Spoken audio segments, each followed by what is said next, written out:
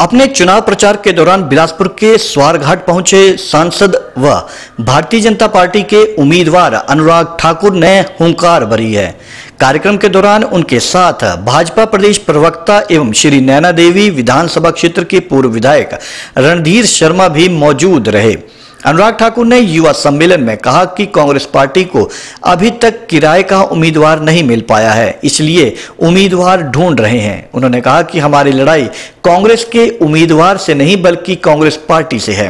अनुराग ठाकुर ने अपने संबोधन में कहा कि केंद्र की मोदी सरकार ने पाँच वर्ष के कार्यकाल में देश को ग्यारहवें पायदान से पाँचवें पायदान पर पहुँचा दिया है, जो देश के लिए सौभाग्य की बात है। विश्व की तीन ताकतों में शुमार करवाने का श्रेय भी प्रधानमंत्री के कुशल नेतृत्व को जाता है। अनुराग ठाकुर ने कांग्रेस पर करारा प्रहार करते हुए कहा कि कांग्रेस के नेता पहले अपनी कुर्सी के बारे में सोचते हैं, फिर देश के बारे में, जबकि प्रधानमंत्री नरेंद्र मोदी पहले देश के बारे में, फिर अपने बारे में सोचते हैं। उन्होंने कहा कि कांग्रेस ने पचपन साल में देश से गरीबी हटाने का नारा दिया था, लेकिन कांग्रेस की पाँच पीढ़ियाँ देश से गरीबी नहीं हटा पाई है। उन्होंने कहा की पिछले पाँच सालों में केंद्र सरकार ने छह करोड़ लोगों को गरीबी रेखा से बाहर निकाला है, जबकि कांग्रेस ने गरीब लोगों को और गरीब बना दिया था, जबकि भाजपा की मोदी सरकार ने देश के 10 करोड़ लोगों को शौचालय बनाकर दिए थे, जिससे अब देश का गरीब किसान भी भयंकर बीमारी का शिकार नहीं हो पाएगा।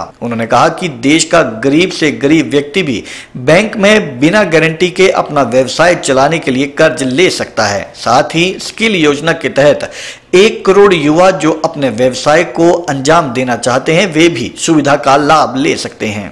मई को होने वाला चुनाव देश और हिमाचल प्रदेश, दोनों के लिए बहुत महत्वपूर्ण है।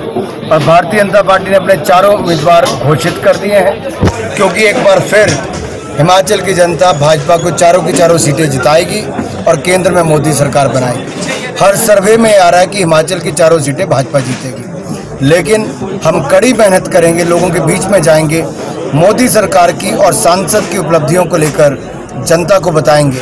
और एक बार फिर आशीर्वाद पाकर अगले पाँच वर्षों में देश का चहुमुखी विकास करेंगे। जिस तरह से पिछले पाँच वर्षों में मोदी जी ने छः करोड़ गरीबों को गरीबी रेखा से बाहर निकाला, अगले पाँच वर्षों में हम इससे ज़्यादा काम करेंगे। ये आज तक कोई सरकार नहीं कर पाई थी जो मोदी सरकार ने किया है। देश आज दुनिया की सबसे तेज़ी से बढ़ने वाली अर्थव्यवस्था बना है। दुनिया देश के पहले पाँच देशों में आकर भारत का नाम खड़ा हुआ है। अब अगले पाँच वर्षों में दुनिया के पहले तीन देशों में भारत को लाएँगे, महान भारत बनाएँगे। भारतीय जनता पार्टी श्री नरेंद्र जी मंडल के युवा मोर्चा ने यहाँ पर युवा सम्मेलन का आयोजन किया, जिसमें हमारे सैकड़ों की संख्या में नौजवान पूरे विधानसभा क्षेत्र से आए थे, जिनको हमारे सांसद और आगामी लोकसभा चुनाव में फिर से सांसद बनने वाले श्री अनुराग ठाकुर जी ने संबोधित किया है।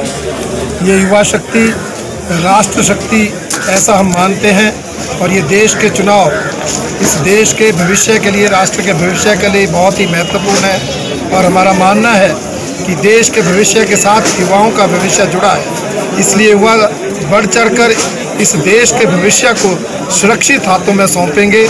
और आज ये हर देशवासी, हर नौजवान समझ रहा है कि ये देश अगर सुरक्षित है, इस देश का अगर भविष्य उज्जवल है तो वो आदरणीय प्रधानमंत्री नरेंद्र मोदी जी के हाथों सुरक्षित है। उस उद्देश्य को लेकर, उस लक्ष्य को लेकर हमारे नौजवान हर बूथ में काम करेंगे और यहाँ से हमारे लोकप्रिय प्रत्याशी, नौजवान जुझारू नेता अनुराग ठाकुर को भारी बहुमत से विजयी बनाएँगे। ये संकल्प नौजवानों ने आज इस सम्मेलन में लिया है।